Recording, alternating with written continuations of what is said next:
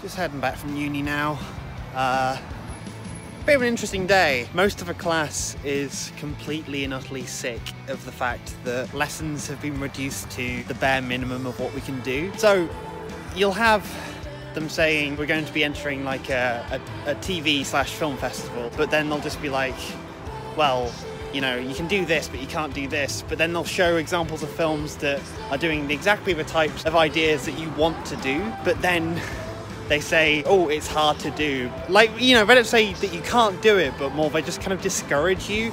And everyone just stayed behind and talked about, nah, this is bullshit.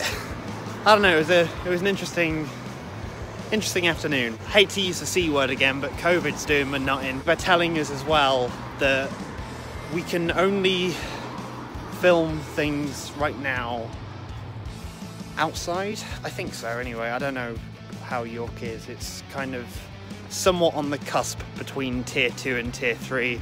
I think it's still tier 2, but I don't know. There's lots of people pushing for it to be tier 3. A lot of ideas that were put across by people are stuff that we kind of need to be inside for too.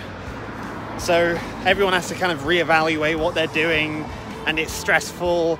And uni, it sucks. I love uni, but it sucks right now.